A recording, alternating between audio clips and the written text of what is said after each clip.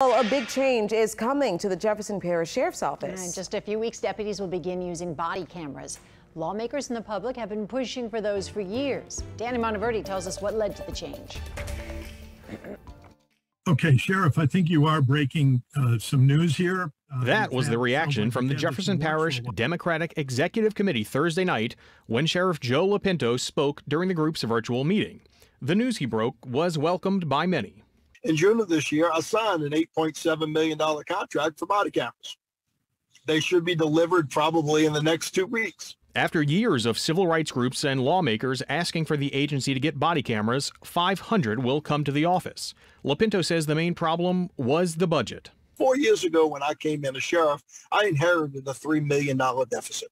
Now, with that hole plugged, the JPSO will get body cams and dash cams.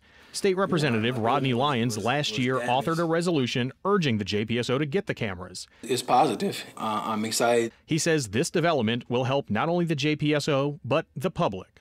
The constituency, the citizens get to know um, that that's going to happen. This is what they've been asking for, um, which was the inception of, of the resolution, um, because that was a an outcry. They wanted to know that. So it's a total package that's going to be there, and I'm, I'm happy about that. Lopinto says younger deputies are more willing to go along with the change. And now this is something else that you add to the everyday, um, you know, repertoire that they have to do. but it's one everyone will have to do.